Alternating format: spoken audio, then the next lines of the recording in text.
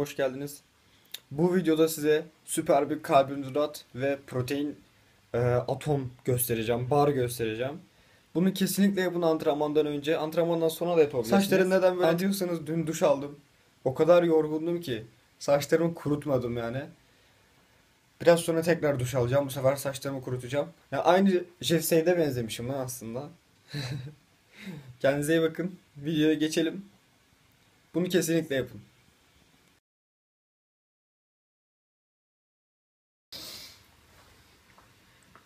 Arkadaşlar ihtiyacımız olan fıstık ezmesi ve bir adet elma.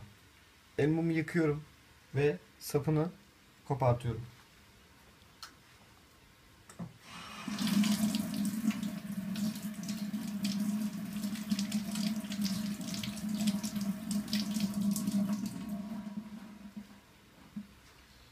Bu arada elmanın burasını, içindekileri falan kesip atmayın.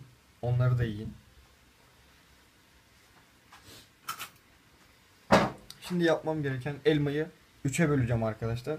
Şuradan şöyle ve buradan şu şekilde keseceğim. Görünüyor mu bilmiyorum ama şöyle elmayı 3'e böleceğim.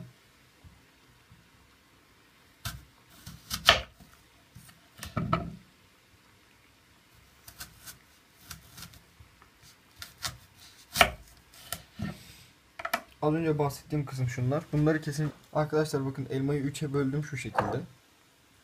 Kalınlıkları bu şekilde. Şimdi bunların arasına fıstık ezmesi süreceğim.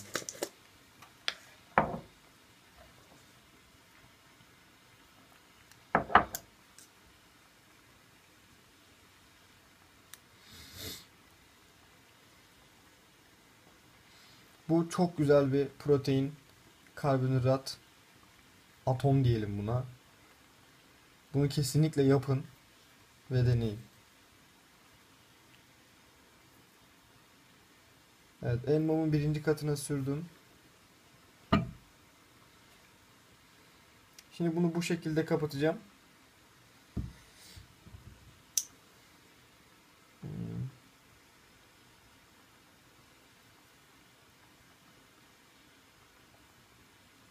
Kapattım. Şimdi son katına süreceğim. En üst katına.